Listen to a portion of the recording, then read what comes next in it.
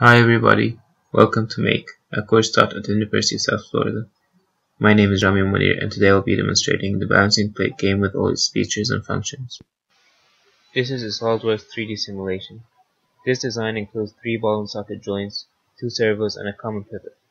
The electronics are basically two photocells, a 3-axis accelerometer, a joystick and other electronic components. The gaming mode is simply to balance the ball on the plate using the joystick or photocells. If the ball falls, it's a game over. It is also programmed to keep the plate balanced if the joystick or photocells are not triggered. This is the control system block diagram. The red boxes represent sensors, while the green represent actuators. The Arduino accepts signals from the photocells, joystick, and accelerometer.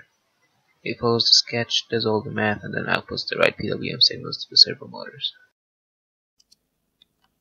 So here's the final version of my project we have uh, first of all we have this on off uh, switch to uh, turn the uh, Arduino on and off.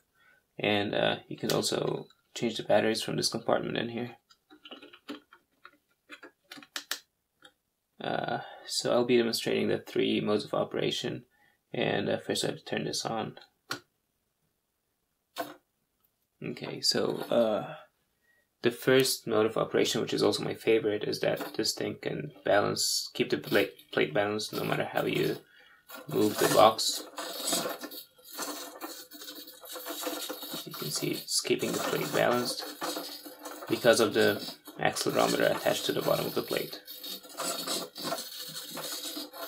And as I said before, I'm using a proportional control. So there's a desired value and an actual value, and uh, a proportional constant of that I chose.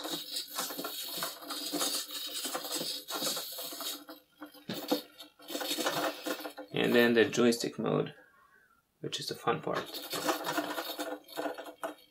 Uh, you try not to let the ball fall out, fall out of the plate.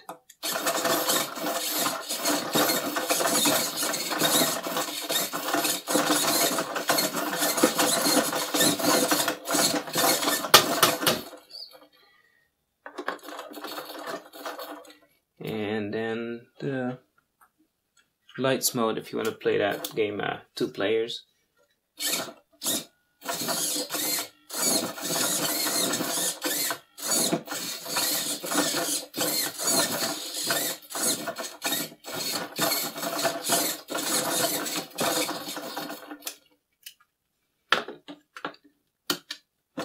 I think that's it. Thanks for watching.